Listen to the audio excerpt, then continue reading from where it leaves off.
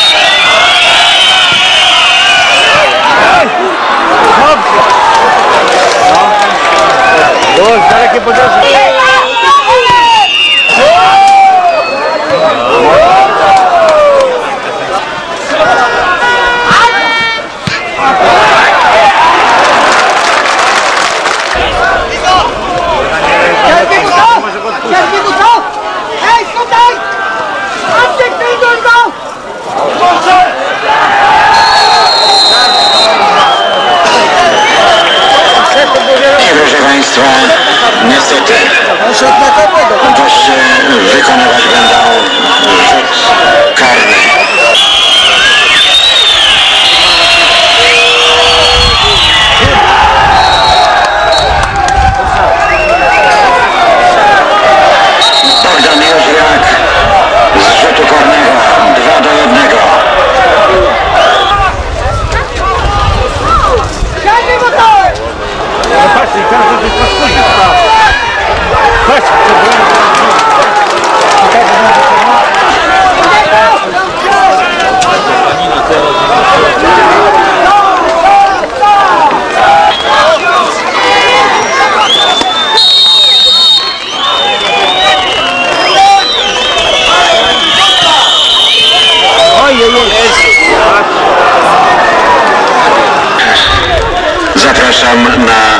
Konferencję prasową, która odbędzie się z udziałem trenerów obydwu zespołów.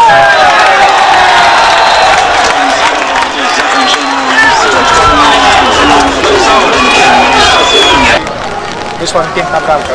Można powiedzieć jedna z moich najładniejszych w życiu.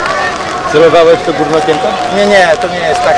Żaden, z- nie sądzę, żeby którykolwiek z piłkarzy w pełnym biegu gdziekolwiek celował. Po prostu uderzyłem światło bramki. Tak wyszło i wpadło. Naprawdę cieszę się z tej bramki. To jest moja pierwsza bramka w Poznaniu. 0-5 w Krakowie, zwycięstwo z Petrochemią 2 do 1. Oba zespoły porównywane, jeżeli chodzi o siłę pewnie. Zgadza się, tam nam mecz nie wyszedł, obawialiśmy się bardzo tego spotkania.